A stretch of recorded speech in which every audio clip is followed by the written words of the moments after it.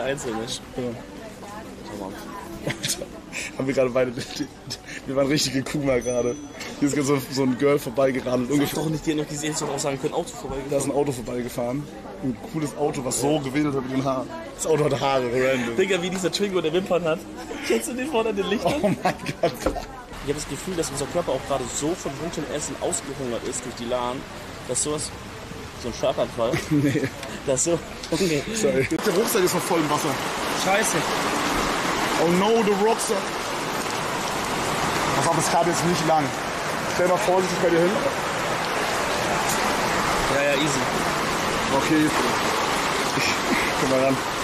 Ich hab geschrieben, drei Dirks im Hintergrund. Die muss kommen.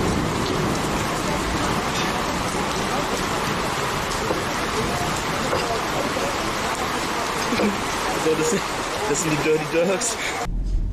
Das mit dem Sport hast du wohl von deiner Mutter. Also das mit dem Aufhören.